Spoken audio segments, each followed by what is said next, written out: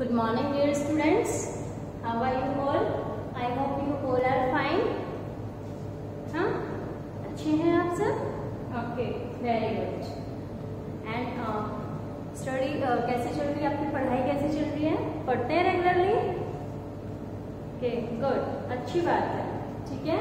But बेटा जो subject uh, teacher आपको वर्क uh, देता है ना डेली आपको कोई ना कोई किसी न किसी सब्जेक्ट में वर्क मिल रहा है आप उसको उससे भी अपनी जैसे भी सब्जेक्ट टीचर ने बताया है, आपका लर्निंग वर्क है, या आपको फेयर नोटबुक में सॉल्व करना है प्रॉब्लम्स को तो आप उनको सॉल्व करके या जो आपकी फेयर नोटबुक में है उनमें राइट डाउन करके आपको सबमिट कराना होता है ना? उसी सब्जेक्ट टीचर के कॉन्टेक्ट नंबर पर आप उनसे डेली बेसिस पे चेक कराइए वर्क है ना? अच्छी बात होती है ना? हमें अपना होमवर्क डेली करना चाहिए। जब आप स्कूल आते थे, तब भी तो आप डेली होमवर्क करते थे। है ना? तो वैसे ही अभी भी आपको अपना जो डेली का होमवर्क होता है, वो डेली करना होता है। ठीक है? ओके अच्छी बात है। आई होप अब आप सब लोग करेंगे वर्क चलो, ठीक है। देखो, आज हम अपनी ईवीएस की क्लास में, जैसे प्रीवियस लेक्चर में हम अपना सेकेंड लेसन आप मस्कुलर सिस्टम डिस्कस कर रहे थे, है ना?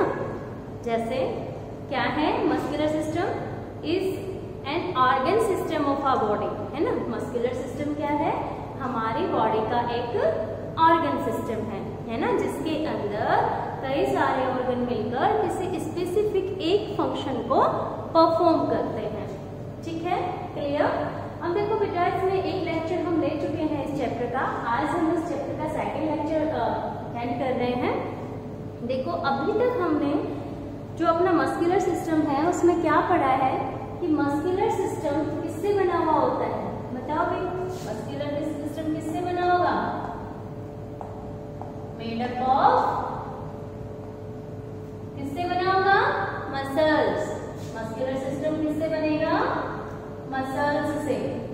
ठीक है? नंबर ऑफ़ मसल्स की अगर हम बॉडी के अंदर बात करें, हमने बात की थी, हमारी बॉडी के अंदर 600 मसल्स प्रेजेंट होती हैं। बॉन्स कितनी होती हैं? 206 ठीक है? अब मसल्स के फ़ंक्शन क्या क्या होते हैं? है ना? क्यों प्रेजेंट है? क्या इंपॉर्टेंट रोल है इनका हमारी बॉडी के अंदर? तो जो जितने भी मूवमेंट अपनी बॉडी के अंदर होते हैं, चाहे हमारे वो वॉलेंट्री एक्शंस है, चाहे वो इनवॉलेंट्री एक्शंस है, अब वॉलेंट्री एंड इनवॉलेंट्री एक्शंस क्या होते हैं? बताओ। वॉलेंट्री एक्शंस वॉल्यूएंट्री एक्शन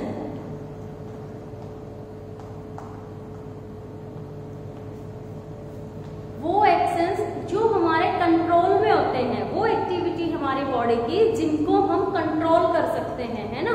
जैसे वॉकिंग है रनिंग है चिविंग द फ़ूड है स्पीकिंग है टॉकिंग है है ना?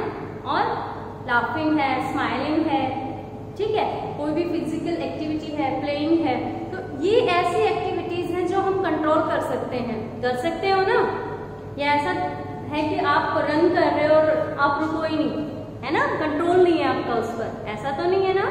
तो वो एक्शंस बोलेंगे या वो एक्टिविटीज़ जो जिनको हम कंट्रोल कर सकते हैं, वो होते हैं वॉलेंट्री एक्शंस एंड सेकंड होते हैं इनवॉलेंट्री एक्शंस सेकंड क्या है इनवॉलेंट्री एक्शंस अब इनवॉलेंट्री एक्शंस कौन से होंगे बताओ देखो, ये इसका ऑपोजिट है जस्ट है ना? वॉलेंट्री एंड इनवॉलेंट्री इसके अंदर आई एन आया आई एन यू एन या अ हम कहा लगाते हैं? इंग्लिश में आप पढ़ते हो ऑपोजिट वर्ड जो उसका ऑपोजिट सेंस दे रहा है है ना?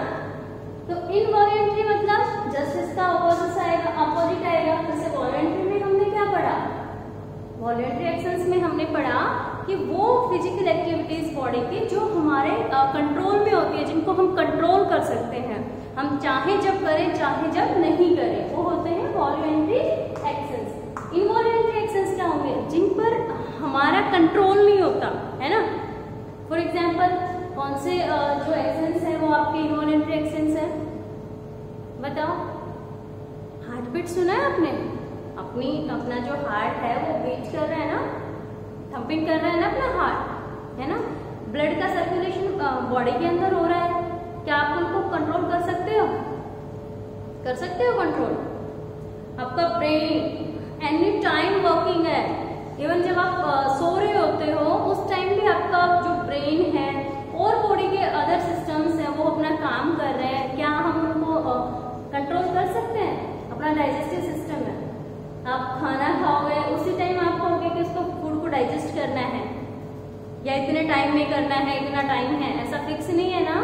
सो so, बॉडी के अंदर कुछ एक्टिविटीज़ या कुछ एक्शंस ऐसे होते हैं जिन पर हमारा कंट्रोल नहीं है जो सिस्टमेटिक ढंग से चल रहे हैं नेचुरली है ना? उनको हम बोल रहे हैं इनवॉल्ट्री एक्शन क्लियर तो देखो ये हमने बात क्यों की क्योंकि जो हमारी मसल्स है है ना वो इनका जो एक्शंस होते हैं वो मसल्स की हेल्प से होते हैं दूसरा हमारी बॉडी के अंदर जो मूवमेंट होता है हमारी बॉडी मूव कर रही है चाहे वो बॉन्स का मूवमेंट हो है ना और हम मूव किसके थ्रू करते हैं बॉन्स के through but bones individually move नहीं कर सकती जब तक उनको मसल्स का सपोर्ट ना मिले। यानी कि जो मसल्स हैं, वो बोन्स को हेल्प करते हैं मूव करने के लिए। क्लियर बच्चों? तो इस तरह से जो मसल है, वो हमारी बॉडी का इंपॉर्टेंट एक सिस्टम है, बनाती है।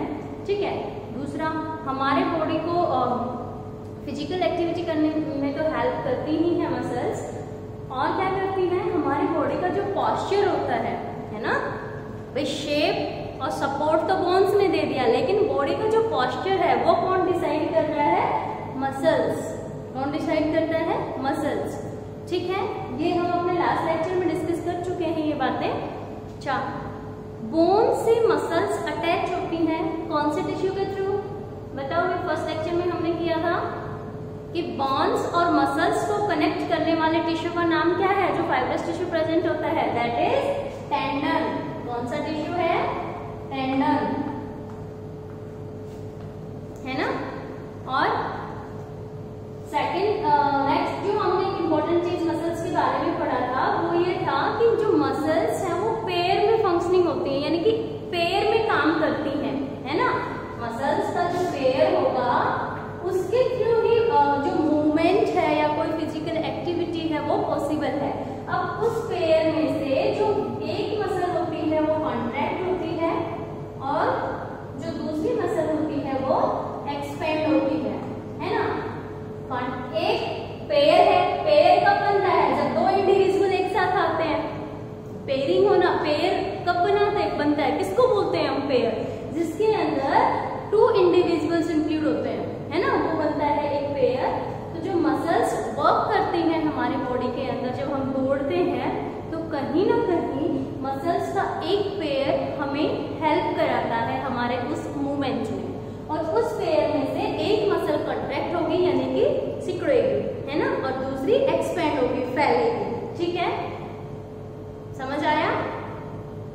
एग्ज़ाम्पल मैंने आपको बहुत अच्छे से इसका बताया था बाइसेप्स एंड ट्राइसेप्स कौन सी मसल्स होती है बाइसेप्स जब हम अपनी फोर आर्म को शोल्डर की तरफ़ लाते हैं तो जो अपर आर्म की फ्रंट मसल्स होती हैं, वो होती हैं बाइसेप्स और जो बैक मसल्स होती हैं, वो होती हैं ट्राइसेप्स जब हम उसको बैक लेके जाते हैं तो ये कंटेक्ट होती है ट्राइसेप्स ठीक है? क्लियर? आज हम अब ले रहे हैं जो इस, इस लेसन का जो नेक्स्ट पॉइंट है वो आता है types of muscles next point कौन सा है अपना आज का टाइप्स ऑफ़ मसल्स अब देखो हमने किस बेस पर मसल्स को क्लासिफाइड किया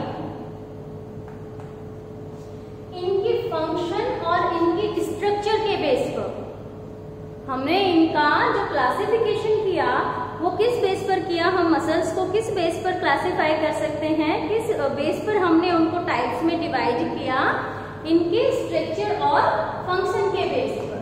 है ना? तो हम लिखेंगे based on structure and based on structure and function यानी कि इनका स्ट्रक्चर कैसी है इनकी? है ना? और इनका काम क्या है? किस तरह का फ़ंक्शन ये परफॉर्म कर रही है? उसके बेस पर हम मसल्स को थ्री कैटेगरीज में कैटेगराइज करते हैं ठीक है कितने टाइप्स में डिवाइड करते हैं थ्री फ़र्स्ट आती है अपनी स्केल्टल मसल्स फ़र्स्ट कौन सी है स्केल्टल मसल्स ठीक है अब देखो कहाँ प्रेजेंट होंगी क्या काम होगा इनके टाइप के अंदर जो नाम है उसी से पता चल रहा है स्कैल्टर स्कैल्टर वर्ड किससे रिलेटेड है बॉन्स से किससे रिलेटेड होता है बॉन्स से इट मीन्स क्या हुआ कि जो बॉन्स से जुड़ी हुई मसल्स हैं उनको हम क्या बोलेंगे स्केल्टल मसल्स है ना हमने पढ़ा है ना भी कि जो बॉन्स होती हैं वो मसल्स से कवर्ड होती हैं तो और कौन से टिश्यू के थ्रू जुड़ती हैं टेंडन के थ्रू है ना एक फाइब्रस टफ टिश्यू होता है जिसके थ्रू जो बॉन्स होती हैं वो मसल्स से जुड़ती हैं ठीक है अब स्केल्टल मसल्स जहाँ जहाँ बॉन्स से मसल्स अटैच हैं उन मसल्स को हम बोलेंगे स्केल्टल मसल्स ठीक है बोन से जो मसल्स अटैच्ड हैं उनको हमने बोला स्केल्टल मसल्स अब देखो जो फ़ंक्शन होगा स्केल्टल मसल्स का वो क्या होगा कि जब हम दौड़ रहे हैं कोई भी चल रहे हैं है ना जैसे फेशियल मसल्स अपने फेस के जो बॉन्स हैं उनसे अटैच मसल्स जो है वो हेल्प करती हैं हमें स्पीक करने में स्माइल करने में फ़ूड को च्यू करने में है ना क्लियर इसी तरह जो हमारी लेग की मसल्स है वो हमें वॉक करने में जंप करने में हेल्प करती हैं है ना ठीक है अपनी हैंड के जो मसल्स है, वो बहुत सारे हमारे ऐसे काम होते हैं जिनको कर, जो हम कर रहे हैं, सारे काम जो जो भी हम अपने हाथों से कर रहे हैं, उसके लिए अपनी आर्म मसल्स हेल्पफुल है। ठीक है? समझ आ गया आई होप आ गया? अब देखो स्केलेटल मसल्स जो होती हैं, वो किस टाइप का फ़ंक्शन करेंगी? कौन सा एक्शन करेंगी? वॉल्यू एंट्री कौन सा?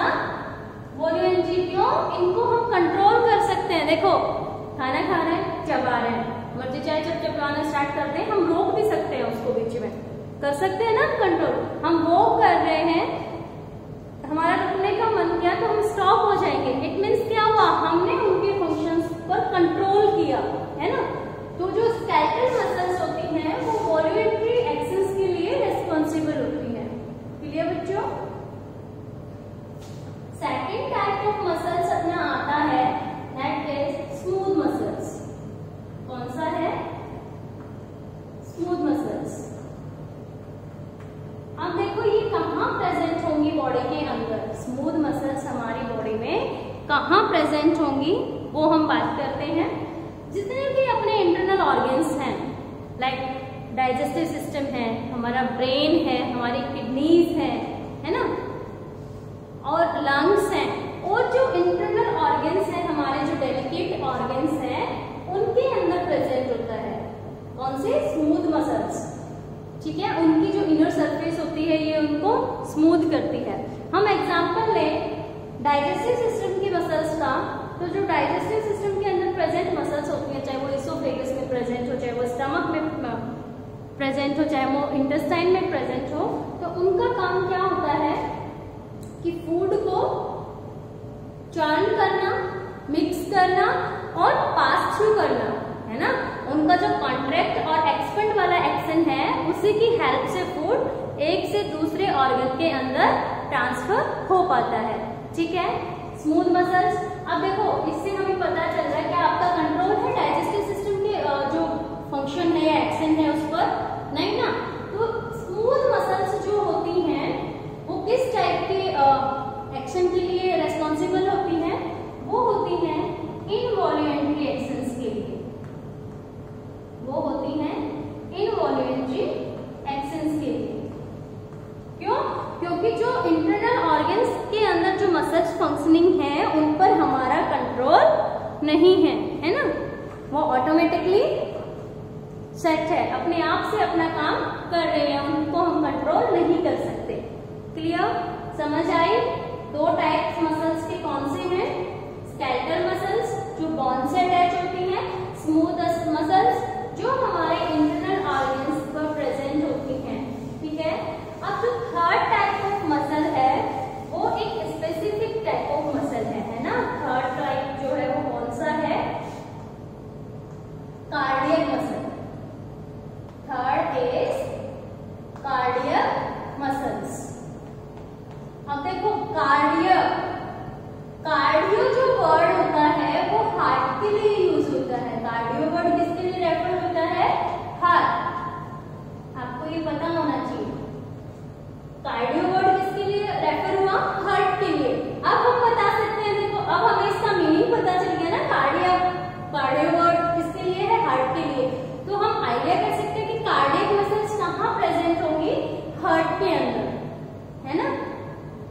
जितने जितनी भी मसल्स होती हैं, वो कौन सी हैं? कार्डियक मसल्स अच्छा मैंने अब इसके बेस पर देखो, अब हमें अगर ये पता चल जाता है ना कि बॉडी के कौन से पार्ट में किस टाइप के मसल प्रेजेंट है तो हम उनका जो एक्शन है, उनका जो फ़ंक्शन है, वो भी बता सकते हैं कि वो एक वॉलेंट्री एक्शन का हिस्सा है या फिर एक इनवॉलेंट्री एक्शन का हिस्सा है। अब बात आई हार्ट की, है ना? हार्ट पर आपका कंट्रोल है। जब आप सोते हो क्या आपका अर्थ है।